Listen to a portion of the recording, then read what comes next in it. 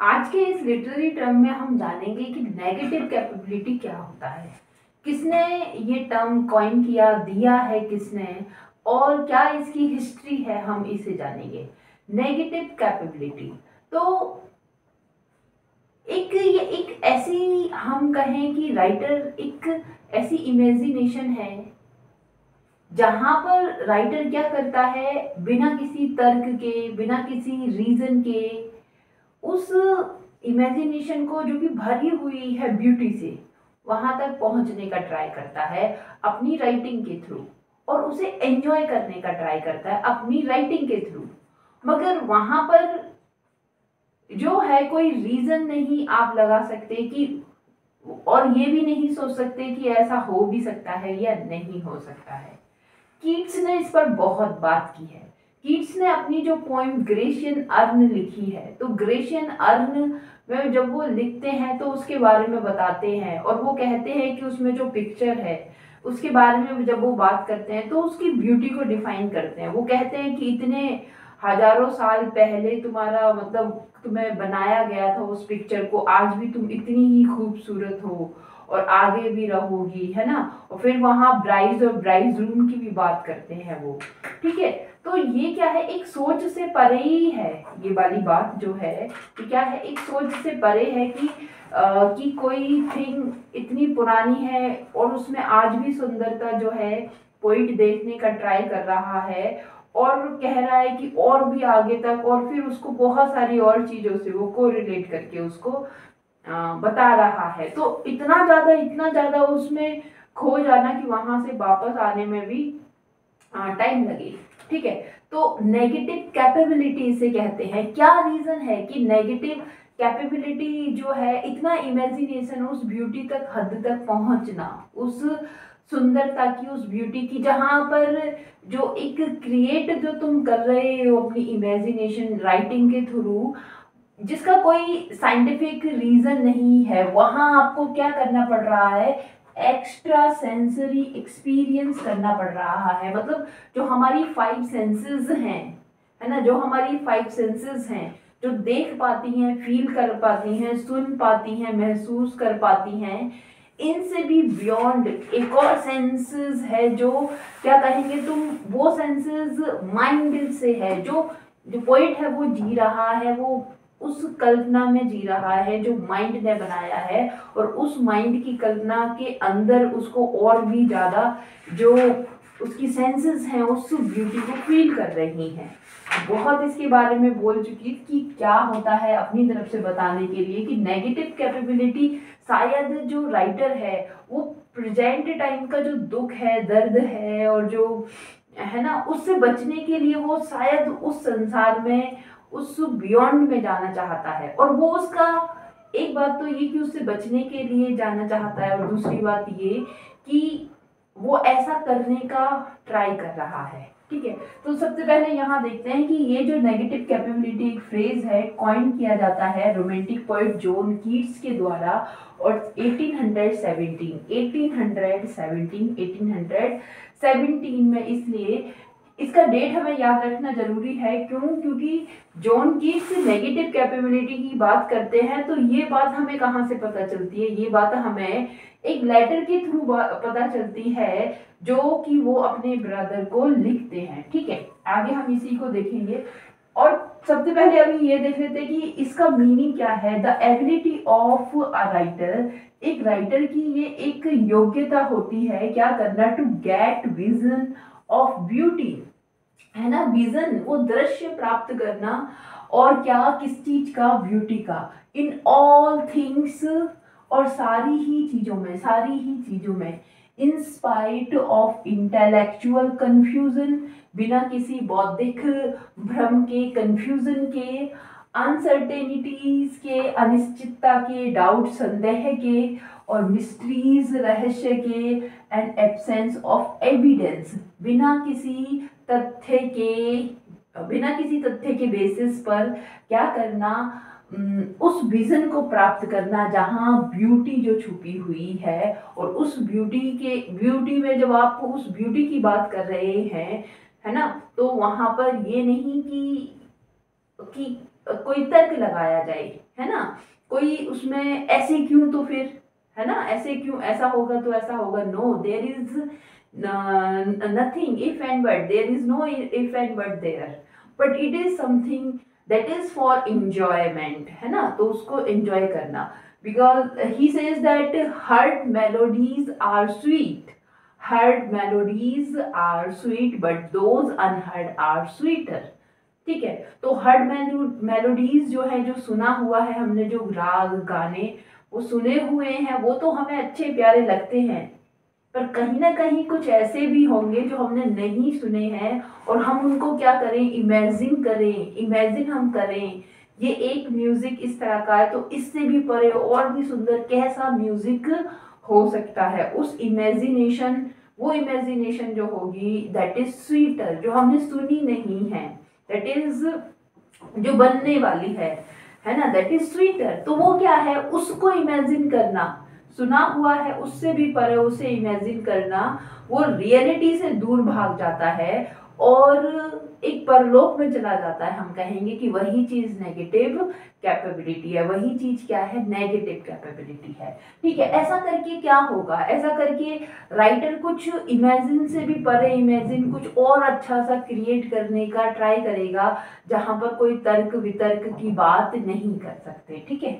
इसकी हिस्ट्री क्या है? कैसे ये जो टर्म है नेगेटिव कैपेबिलिटी ओरिजिन होता है? तो ये बात पता चलती है लेटर के थ्रू जो कीट्स लिखने अपने भाई जॉर्ज और टॉम को और कब लिखते हैं? 1817 और ये 21 दिसंबर 1817 है। तब ये लिखते हैं ही रोड दैट और उन्होंने लिखा कि एक राइटर है शेक्सपियर जो क्या है, वो एक मैन है ऑफ़ ग्रेट अचीवमेंट के। क्यों? क्योंकि वो पजेस करते हैं, उनके पास है क्या? कि वो क्वालिटी है उनके पास और इन एवेंडेंस भरी है वो क्वालिटी उनके पास। और क्या quality this quality was his negative capability और वो जो क्वालिटी है, वो जो है, वो उनकी नेगेटिव कैपेबिलिटी है। वो उनकी नेगेटिव कैपेबिलिटी है और जब वो लिखते हैं तो लिखते हैं लिखते हैं और उसमें खो जाते हैं।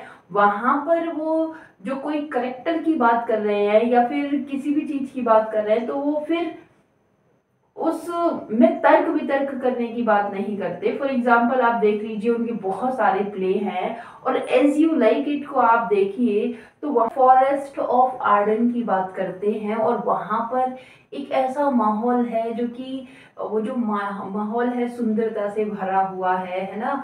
और वहाँ पे ब्यूटी है, वहाँ पे जो भी आता है, सब चेंज हो जाते हैं, उनकी माइंड मेंटेलिटी चेंज हो जाती है। और वहीं ऑर्लैंडो का भाई ओलिवर है, जो उसे मारना चाहता था, अब उसका बिल्कुल क्या फ्रेंड वो पूरी तरह से चेंज हो जाता है। अब ये जो चेंजेबिलिटी है, वो कहीं ना कहीं क्या है, जो बिल्कुल तर्क संगत नहीं कि वो तो उसे मारने आया था, फिर उसे चेंज कैसे हो गया? तो वहाँ पर इस तरह की कुछ ऐसे प्रेजेंटेशन करेक्टर हैं, जहाँ पर हम जो है अगर तर्क लगाएँगे माइंड लगाएँगे तो क्यों ऐसा क्वेश्चन करेंगे?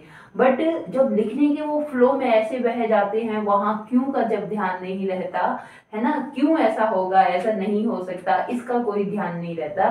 तो तब वो क्या होते हैं राइटर एक लिमिट से भी परे ऊपर चले जाते हैं, वही उनकी नेगेटिव कैपेबिलिटी कही जाती है कीट्स के अकॉर्डिंग ठीक है? अब यहाँ पे है कि it is an artistic experience ये क्या है? अनुभव है। और कैसा अनुभव है? आर्टिस्टिक अनुभव है।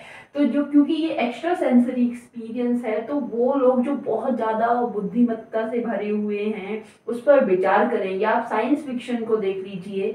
तो साइंस फिक्शन में भी नेगेटिव कैपेबिलिटी है कि वास्तविकता से परे की एक बात कही जाती है। और जो अभी तो जब तक प्रूफ नहीं होती तो हम तो उसे कहेंगे, क्यों ऐसा तो नहीं हो सकता, ऐसा कैसे हो सकता है है ना? मगर वो वास्तविकता हो भी सकती है, क्योंकि आज से एक हज़ार पहले, एक हज़ार साल पहले जो व्यक्ति रहते होंगे, जहाँ पर वो क्या जब उस वक्त जब कोई, जब उन्हें बहुत गर्मी लगती होगी और जब कोई उनका पंखा फ़ैन करता होगा तो उसका हाथ दुख जाता होगा तो वो अपने दिमाग में सोचता होगा कि काश कुछ ऐसा सिस्टम हो जाए, है ना? कुछ ऐसा हो जाए कि मेरे, मुझे पूरी रात इसका फ़ैन ना करना पड़े इस राजा महाराजा का और इसको, है ना?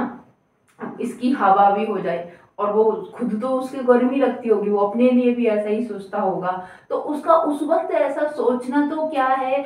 कुछ नेगेटिव कैपेबिलिटी ही, उसका ऐसा सोचना नेगेटिव कैपेबिलिटी ही थी। मगर आज क्या है कि वो फैनिंग है हमारे पास, जहाँ किसी को ऐसे हाथ नहीं, पंखा नहीं करना पड़ता और हमें हवा और पूरा ठंडक का अनुभव भी होता है। तो ये पहले अगर ऐसा सोचना था, पहले क्या मैं एक हज़ार साल बोल रही हूँ, सौ साल पहले भी तो फिर ये क्या था? वो मतलब एक नेगेटिव कैपेबिलिटी की थी। मगर नेगेटिव कैपेबिलिटी के थ्रू हम उस अनोखी दुनिया में इमेजिनेशन में जा सकते हैं। इमेजिनेशन क्रिएशन का सोर्स हो सकती है, बहुत अच्छी बात ये कही।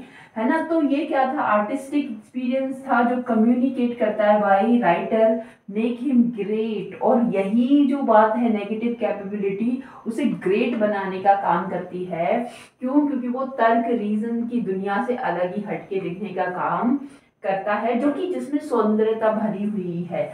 अब आप देखिए एंटीमियन जो कीट्स की पोएम है, जहाँ वो कहते हैं thing of beauty was a joy forever और वहीं उनकी जो दूसरी पोएम है ओड ऑन ग्रेशियनर वो कहते हैं truth is beauty beauty is truth और हम कहते हैं कि सत्यम शिवम सुंदरम, जो सत्य है वही सुंदर है। तो ये क्या है? यहाँ पर तो वो नेगेटिव कैपेबिलिटी की बात करते हैं। एक और बात है इंपॉर्टेंट है, और वो उसी सेम लेटर में कहते हैं कि वर्ड्स बर्थ और कॉलरिज है ना? इमेजिनिज्म को एक लिखने की राइटिंग के तरीके को पैटर्न से अलग हटकर भी इन्होंने लिखा था। मगर फिर वो कहते हैं, मगर इन लोगों में वो नेगेटिव कैपेबिलिटी वो पजेस नहीं करते because they were obsessed with philosophical truth over artistic beauty कि आर्टिस्टिक ब्यूटी की मतलब के बजाय वो जो फिलोसफिकल जो ट्रुथ है वो उसमें बहुत ज़्यादा ऑब्सेस्ड हैं गिरे हुए हैं कि वो आर्टिस्टिक ब्यूटी को वो देख ही नहीं पाते। और वो कहते हैं कौन?